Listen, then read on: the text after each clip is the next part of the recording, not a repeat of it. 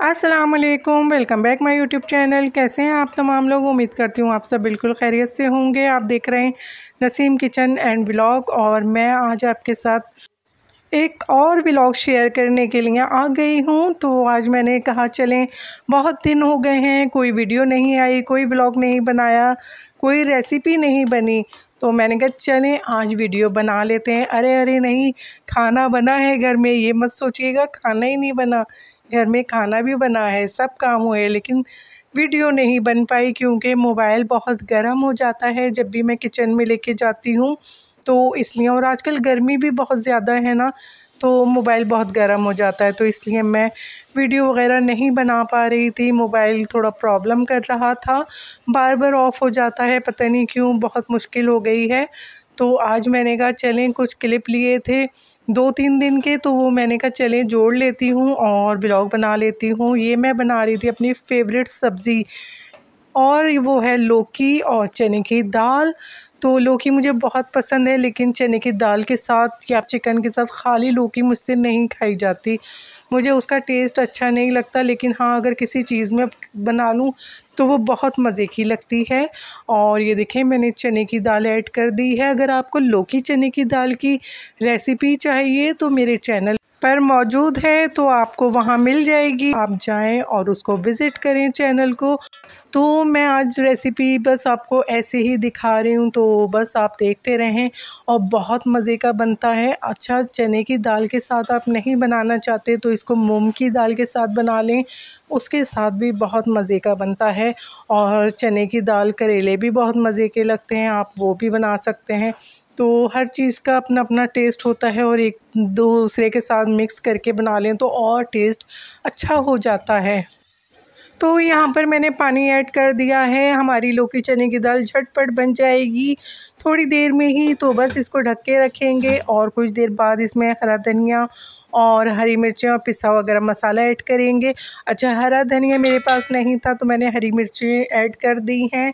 तो आप लोग हरा धनिया भी ऐड करें, उसके बहुत मज़े का लगता है हरा धनिया ऊपर से काफ़ी सारा इस पर डालें। मैंने मंगवाया है, शाम तक ही आएगा। तो अभी मैंने दोपहर में ये रेसिपी बना ली थी तो बहुत मज़े की बनती है। मुझे तो ये बहुत पसंद है, लौकी चने की दाल तो ज़रूर बनाएँ। और यहाँ पर शाम में हस्बैंड चाय के साथ कुछ ले आए थे खाने के लिए तो मैंने चाय बनाई और मुझे तो स्ट्रॉन्ग चाय बहुत पसंद है। मैं दूध भी चाय में ही ऐड कर देती हूँ और फिर इसको अच्छा सा पका लेती हूँ। तो बस यहाँ मैं चाय बना रही थी तो हस्बैंड ले आए थे। शाम में जल्दी आ गए थे तो लेकर आए थे कचौरियाँ। तो कचौरी लेकर आ गए थे, काफ़ी हैवी हो गया था। मैं समझी समोसे लाएँ तो देखा तो कचौरी थी और इसके साथ अचार था, रायता था, चने का सालन था और आलू की भुजिया थी। तो बस ये तमाम चीज़ें मैं चेक कर रही थी। साथ साथ रसगुल्ले लेकर आए थे। तो मैंने कहा चले आज तो पार्टी हो गई है। तो चलें, अब पार्टी हम करते हैं। हस्बैंड ने तो चाय पीनी नहीं थी तो मैंने अपने लिए चाय बनाई। ये देखें रसगुल्ले, और ये देखें कितनी पका रही हूँ मैं इस चाय को अच्छा सा पका के, और फिर जब मैं पीती हूँ ना तो मैं फ़्रेश हो जाती हूँ शाम में। तो ये देखें, ये मैंने बाउल में निकाल लिया है, चने का सालन और आलू की तरकारी भी मैंने इसी में रख ली थी, और एक प्लेट में मैंने रायता और अचार रख लिया था, ताकि आप लोगों को दिखा दूँ। तो हम लोग ये इंजॉय कर रहे थे। तो ये मेरा नेक्स्ट डे का ब्लॉग है तो दूसरे दिन हम लोग चले गए थे बाहर। तो मेरा कुछ मूड हो रहा था, मज़ेदार सा कुछ खाने का। और मज़े का मतलब मुझे कुछ खाना था बारबी बारबेक्यू टाइप का। तो मैंने हस्बैंड से कहा, कुछ बारबेक्यू खाने का दिल चाह रहा है, कुछ कबाब वगैरह। तो हस्बैंड ने कहा, उनका भी दिल चाह रहा है टिक्का खाने का। तो हमने कहा, चले, चलते हैं। तो काफ़ी दिन हो गए थे, हम लोग बाहर नहीं गए थे और मीरठ गए थे हम लोग क्योंकि हम बहुत पहले गए थे तो यहाँ का हमें कबाब वगैरह बहुत अच्छे लगे थे। तो हमने कहा, चले मीरठ चलते हैं। और मेरठ तो वैसे भी फ़ेमस ही बारबेक्यू की वजह से है और वहाँ का बारबेक्यू वगैरह बहुत मज़े का होता है। वैसे मुझे खाने थे वहीद के कबाब, मज़ेदार से, यमी से, लेकिन हस्बैंड ने कहा, आज बहुत ज़्यादा ट्रैफ़िक है बाहर, बहुत रश है तो आज रहने देते हैं वहाँ तो आज हम कहीं और चलते हैं। तो फिर मैंने कहा, दूसरा ऑप्शन, मीरठ है। तो मुझे वहाँ के कबाब भी बहुत पसंद है। तो मैंने कहा, चलें, वहाँ चलते हैं।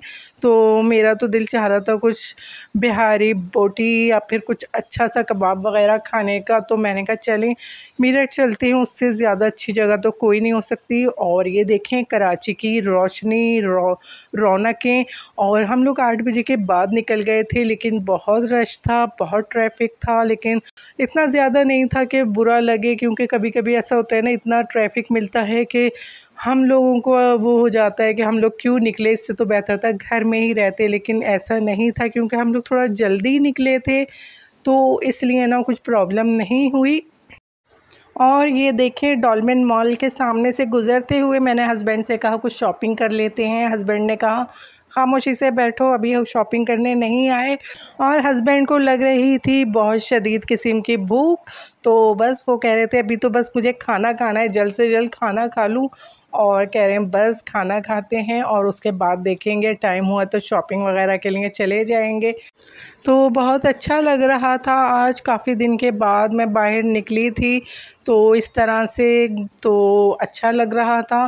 तो हम लोग अक्सर घर में होते हैं, काम कर रहे होते हैं तो हम लोगों को भी ज़रूरत होती है कि बाहर निकलें थोड़ी सी आउटिंग हो जाए, कुछ खा पी लें तो माइंड फ्रेश हो जाता है। फिर आप हफ़्ते पंद्रह दिन के लिए फिर रिलैक्स हो जाते हैं, आराम से, घर में सुकून से काम कर रहे होते हैं अपना सब।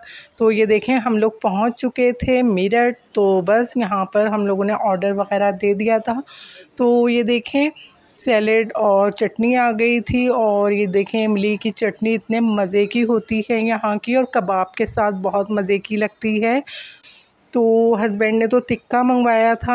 और मैंने मंगवा लिए थे बिहारी कबाब, जो कि मुझे बहुत मज़े के लगते हैं। तो दो ऑप्शन थे, या तो मैंने सोचा था चिकन मलाई बोटी मंगवा लूँगी, या फिर कबाब मंगवा लेती हूँ बिहारी कबाब।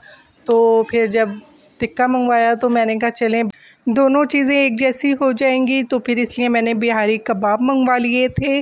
तो ये बहुत मज़े के थे मुझे तो बहुत मज़े के लगते हैं। और पराठे के साथ तो वाह वाह क्या कहना है इसका। तो ये देखिए तिक्के की भी मैं आपको लुक दिखाती हूँ। बहुत मज़े का जूसी सा था और बहुत चटपटा था बहुत मज़ा आया इसको खा के तो फ़ैसला यही हुआ कि सबसे पहले चिकन टिक्के पे हाथ साफ़ किया जाए, उसके बाद कबाब की बारी आएगी। तो मैं यहीं पर अपने वीडियो का एंड करती हूँ, क्योंकि फिर हम लोग खाना एंजॉय करेंगे। आपको मेरा ब्लॉग कैसा लगा, पसंद आया तो लाइक कर दीजिएगा, फैमिली फ्रेंड फ्रेंड्स में भी शेयर कर दीजिएगा, और कमेंट्स में मुझे ज़रूर बताइएगा, और आप मुझे इजाज़त दीजिए। अपना ख्याल रखिएगा मुझे दुआ में याद रखिएगा। अल्लाह हाफिज़।